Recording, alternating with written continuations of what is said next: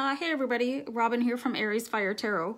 I'm just going to do the Divine Oracle reading. So I'm taking from the Divine Feminine deck and um, I shuffled and pulled a card for you and it is actually Joan of Arc who is just this amazing woman from history.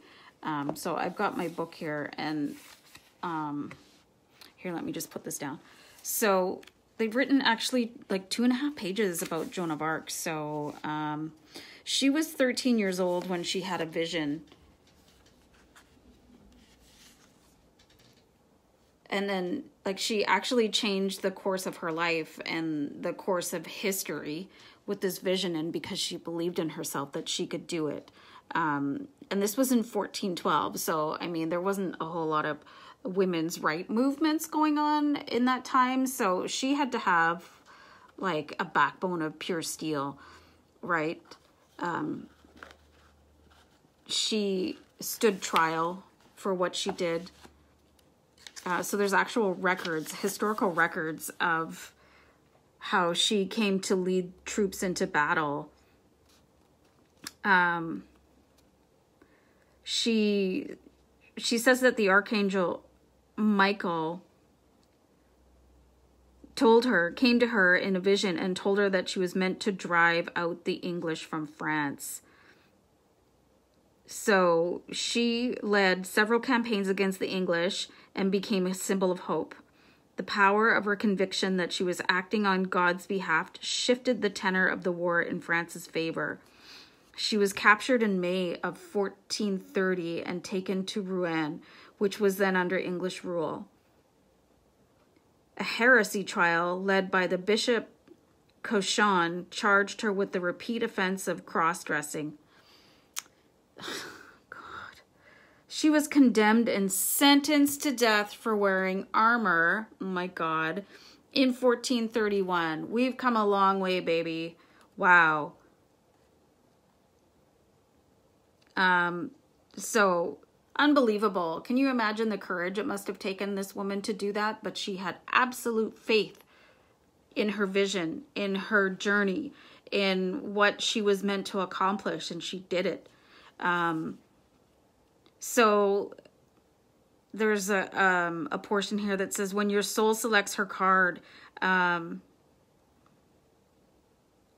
during Joan of Arc's heresy trial, her interrogators asked her if she was in a state of grace, and she answered, If I am not, may God put me there, and if I am, may God so keep me. Her unfaltering faith in the truth of her own visions made the impossible possible.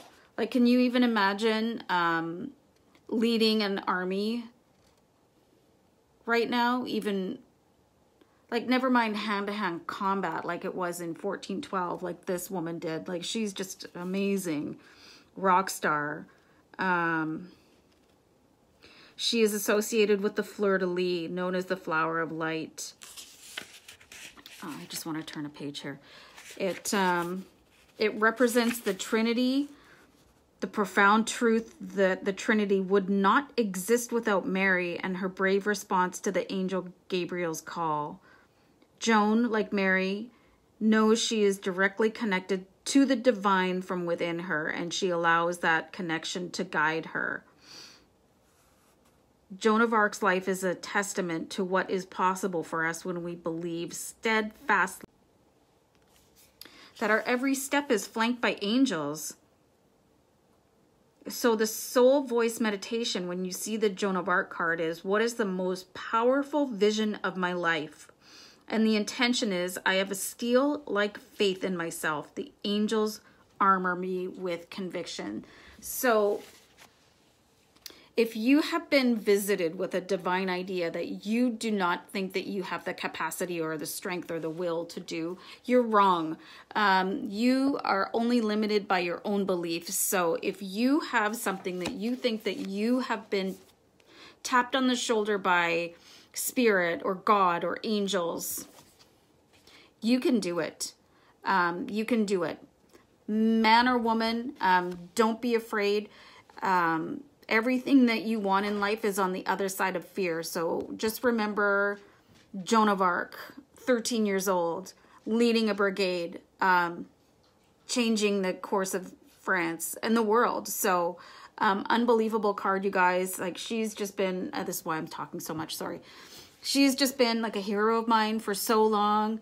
Like, I can't even imagine what it takes or what it took for her to to just say, okay, yeah, I'm off. Um, I'm gonna go and win this war because, you know, God told me to. So amazing. Keep faith in yourself. You're stronger than you know.